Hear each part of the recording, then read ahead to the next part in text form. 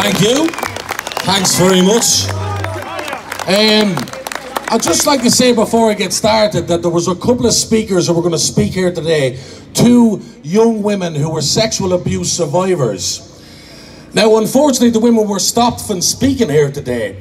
But I'd like to say that the bravery they demonstrated, even willing to show up here today and talk about their experiences, has inspired me to no end and ensured I would never back out. Never! Now, I'm an independent speaker here today. I'm speaking for myself. I'm a proud traveller man, and I'm glad to see there's many travellers in the crowd supporting this. I'm a proud Coolock man, and I'm glad to see there's many Coolock lads and girls in the crowd supporting this. And I'm a proud Irishman, and I'm glad to see all my Irish people in the crowd supporting this. You know what? I have to say I am absolutely delighted that the fascist group known as Antifa showed up here today. I'm delighted because they have delegitimized every cause they ever fought for. Let's not forget one of the founders of Antifa Ireland is a paedophile himself. Patrick Corcoran. What's his name? Patrick Corcoran. Found with child pornography. This is what you're fighting for. You're leftists, this is what you're fighting for, liberals. You're liberal. Are you serious? Oh my God, you make me fucking laugh. You're hilarious.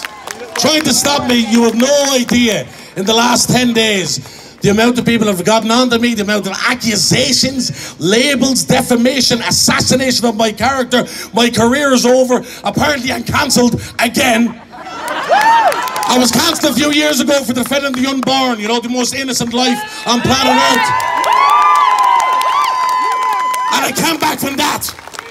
And that's because I am independent and I depend on nobody else for my own living. You make me laugh. All these accusations, it's gas because these are the people who preach acceptance and tolerance and equality and peace and love. And these are the people who are calling me knacker and pikey on Twitter. Telling me, telling me, John, if you just back down, we'll back off. If I back down, I will never back down because this is a hill I will have to die on. If you cannot defend children, you're not worth living, in my opinion. What is wrong with you people? Now, let me talk about Peter Tatchell. Peter Tatchell talked about the normalisation and joyous, beneficial relationship a nine year old can have with a sexual relationship with an adult. Okay?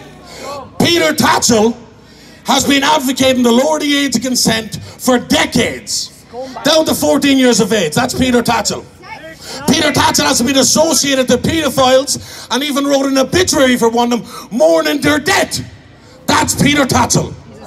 So, when you dare to question the new Minister for Children about his relationship, in which he's very proud of, all of a sudden, we're fascists. We're far right. We're racists. We're homophobes.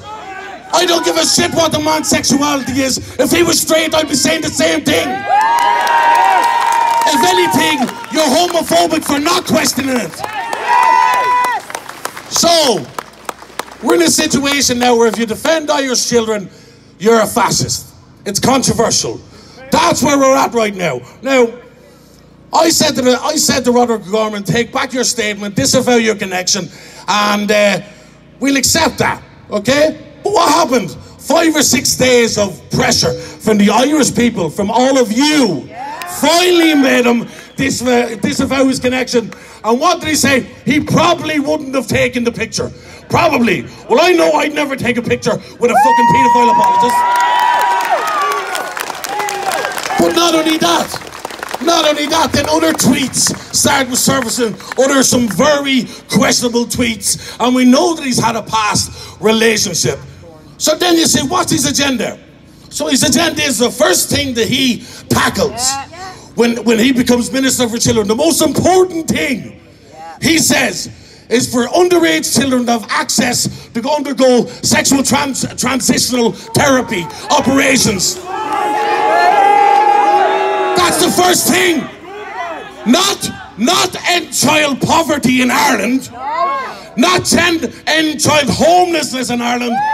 He didn't say, I'm going to make sure that children are not going to be living in hostels, they're not going to be living in hotels, in parks or tents. No, they have easier access to an operational, an operation that is very serious and irreversible. And that's why Rod Roderick O'Gorman is not fit to be Minister for Children. Now take up your pipe and.